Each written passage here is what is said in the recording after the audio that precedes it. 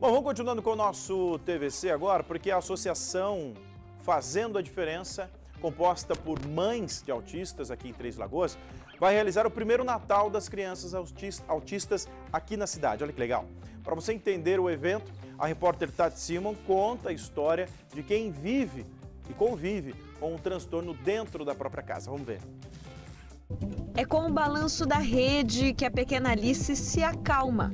Hoje, com 7 anos e diagnosticada aos 4 com transtorno do espectro autista, ela é a personificação do verbo zelar, que cabe aos pais, que tem zelo, mas tem também amor, cuidado, empatia.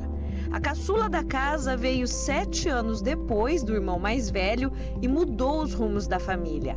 A mãe Ariane mudou de emprego, até de casa a família trocou, que era para dar mais conforto à filha. Com o diagnóstico da Alice em 2017, a vida meio que para, né? Porque a rotina de terapia é, é longa e e aí eu parei de trabalhar, né? Fiquei nessa. Na verdade, eu passei quase um ano buscando terapia, buscando atendimento. E agora eu voltei a estudar, então hoje eu faço pedagogia à distância. Eu fiz uma pós-graduação em educação em 2017, sem saber ainda do diagnóstico dela, descobri o diagnóstico no meio do curso. Mas a intenção da pós era entrar na área da educação é, na área administrativa. E aí no meio do curso tudo mudou, mudou o tema de TCC, mudou tudo. O TCC que era numa outra área virou TCC sobre autismo, né? Falei sobre currículo funcional natural, que é algo pouco falado né, nessa, nessa área da, da criança com TEA. E aí hoje eu faço uma outra pós em educação especial e comecei a trabalhar na área. É, nós somos de Campo Grande, chegamos a Três Lagoas há mais de seis anos e aí conseguimos comprar a casa, né? Realizar o sonho da casa própria, porque em Campo Grande a gente também não tinha. E aí financiamos a casa, mas com o diagnóstico da Alice, conforme ela foi crescendo, três, quatro anos, é, a gente foi percebendo que funcionava para ela. Então, uma casa pequena, sem quintal, a gente não tinha como pôr uma rede, né? Balanço, uma piscininha. E aí a solução foi alugar a nossa casa e procurar uma casa é, que a gente conseguisse adaptar às necessidades dela. A, a, grande maioria, né, os autistas, eles têm estereotipias, né, que são movimentos repetitivos. A Alice, esse movimento repetitivo do balançar para frente e para trás acalma. Então, é o que a gente chama de movimento que regula. O autismo tem algumas características bastante perceptíveis, como o não desenvolvimento ou a perda do comportamento social, da comunicação e da linguagem. Daí que o paciente necessita de acompanhamento de vários profissionais ao longo da vida. O problema é que o tratamento nem sempre tem o aporte do SUS e pode custar até 10 mil reais à família. Bom, o autista ele precisa basicamente de terapia comportamental, né? A gente fala muito de ABA. Eu só fui conhecer o ABA quando eu tive o diagnóstico. A ABA é uma sigla em inglês, significa análise do comportamento aplicado. É, o SUS não oferece, é só particular. Alguns planos de saúde também negam, outros liberam 40 sessões, cancelam, então é uma luta conseguir ABA. Fono, né? Porque a comunicação é um grande problema para o autista, né? Tem autistas que, que não conversam. A minha filha não conversa, né? Ela só tem a ecolalia, que é a repetição.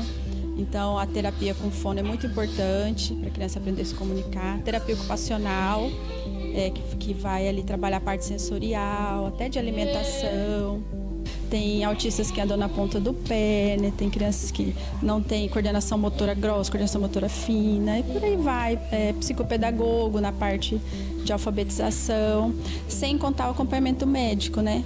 Neuropediatra ou psiquiatra infantil. É um tratamento caro? Muito caro. Em Três Lagoas, não existe um número oficial de autistas. A associação que a Ariane faz parte, a Associação Fazendo a Diferença, estima que há entre 200 e 400 moradores com autismo na cidade. O grupo tem o objetivo de se apoiar e de compartilhar experiências. É, a gente sempre fala que a gente não tem mais nada para oferecer além de amor, né? Que é o que a gente tem. A gente não tem uma sede, né? A gente não tem profissionais que vão atender, então a gente tem amor. A gente consegue acolher essas mães. É, o grupo faz vaquinha para pagar consulta, né? A gente arrecada a cesta básica e, e vai entregar para essas mães. O papel da associação hoje é de dar amor, né? De, de dar carinho, de dar suporte. Claro que a gente luta por um local, porque da maneira que está não pode ficar mais, né? Nós precisamos de um local. É, os autistas eles precisam ter tratamento. Eu já visitei autista adulto que não sai de dentro de casa. Então assim, as mães precisam viver, esses autistas precisam viver, não só a criança, não só o jovem, o adulto também, tem autista adulto. Depois da festa do Dia das Crianças, realizada em outubro, o IF mais uma vez cedeu o espaço, agora para a realização do primeiro Natal das Crianças Autistas em Três Lagoas. A associação espera reunir 130 crianças que virão acompanhadas de seus pais. A ideia da festa foi uma ideia maravilhosa que partiu de uma mãe, né, que fez um relato né, do filho que não tinha amigo e ele é adolescente e a gente fez um encontro no shopping com os adolescentes para reunir esses autistas a primeira vez. Eu só chorava porque um, um autista puxou a cadeira para outro autista sentar e aí um que não conversava começou a conversar com outro. Então, não é só criança autista porque tem o irmão. Tem família que tem três irmãos, quatro irmãos. Né? Então não é só um momento do autista com o autista, mas do, do autista com o não autista, né? com o irmão. É importante enfatizar: mãe, pai, vá, leve seu filho. Eu já ouvi é, uma amiga falar: ah, a minha amiga tem um filho autista de 3 anos, ela não quer levar porque ele dá muito trabalho. Leva. Lá é o local dele se sentir livre, porque assim, não vai ter tempo controlado lá no pula-pula, né? O pula-pula vai ser dele, os brinquedos são deles, eles vão poder comer, brincar e se sentir. É, à vontade. A festa será no sábado, dia 11, das 8 da manhã até o meio-dia. Não precisa pagar nada, é só chegar no Instituto Federal, que está na rua Ângelo Melão, número 790, no bairro Jardim das Paineiras, em Três Lagoas.